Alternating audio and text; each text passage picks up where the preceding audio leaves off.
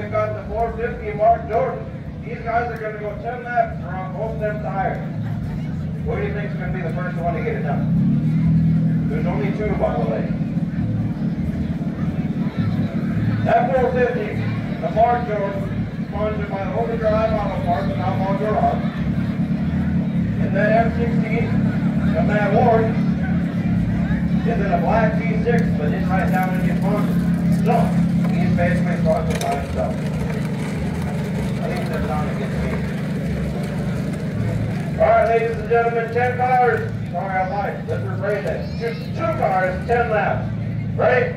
Let's count them down. Five, four, three, two, one. Let's go.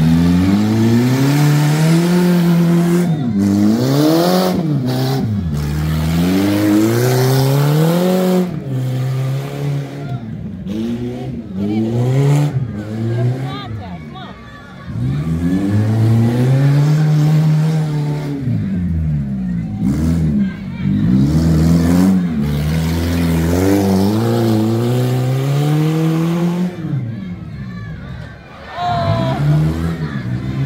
You can't hit